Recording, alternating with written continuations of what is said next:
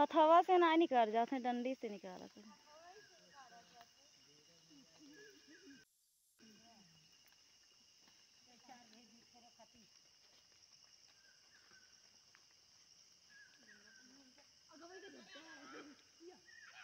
तो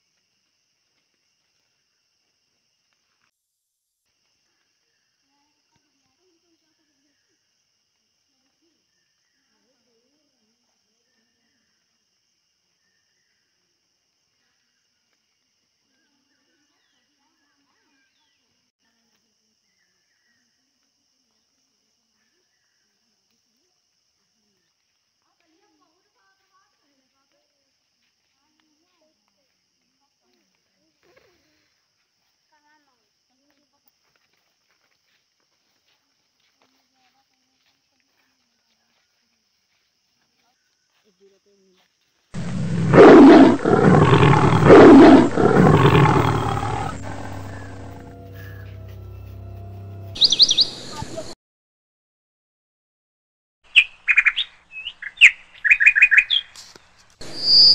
you